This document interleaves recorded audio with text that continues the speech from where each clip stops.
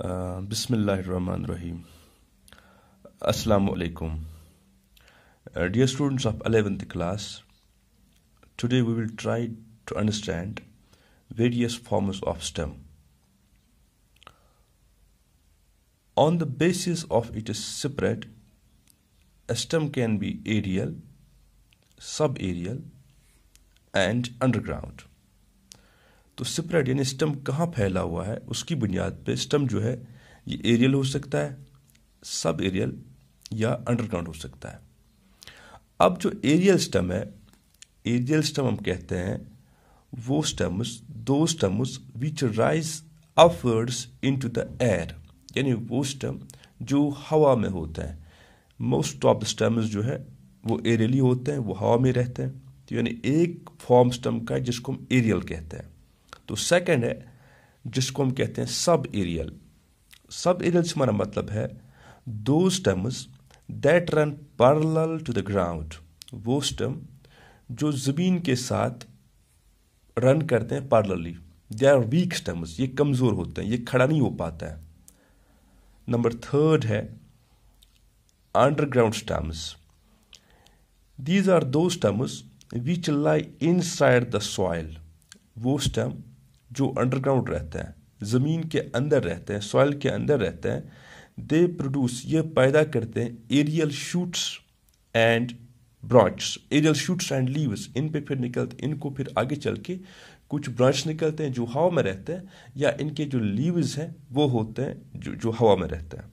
तो ये सिटमस जो है, स्टम की किस्में हुई on the base of it separate तो ऐसे अगर हम बात करें on the base of their morphology stems की फिर से तीन किस्में on the base of their morphology stems are also of three main types they are erect stems they are reduced stems and there are weak stems तो देखते हैं, इन पे एक एक करके हम, ये क्या होता है?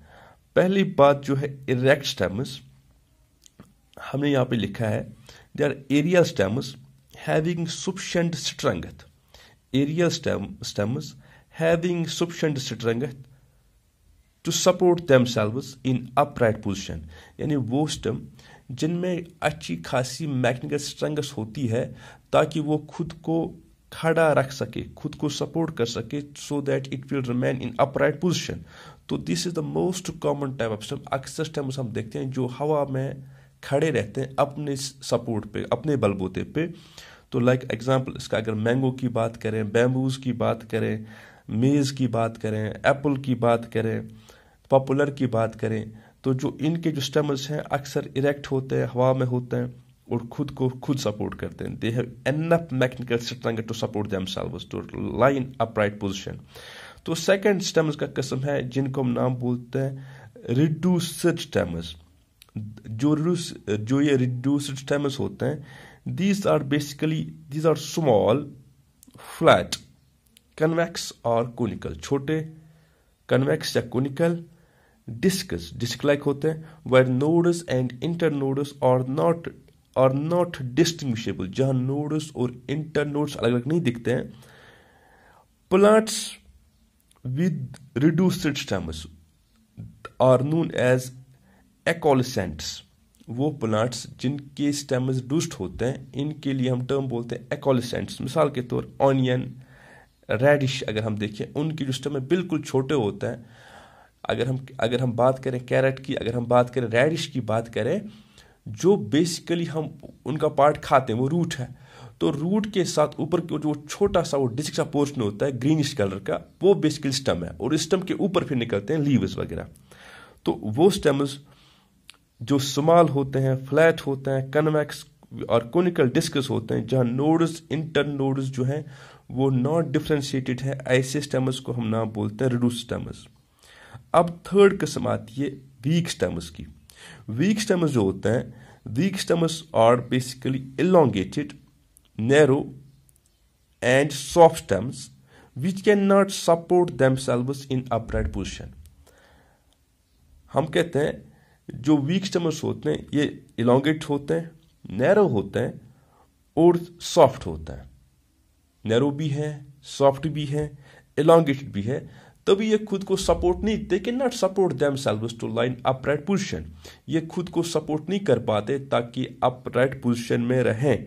तो फिर they their food take the support of either a vertically placed object फिर वो खुद को सपोर्ट करते हैं या किसी ऐसी चीज़ का जो वर्टिकली हो, जो हवा में हो तो उसको पकड़ के फिर ऊपर जा ये जाते हैं।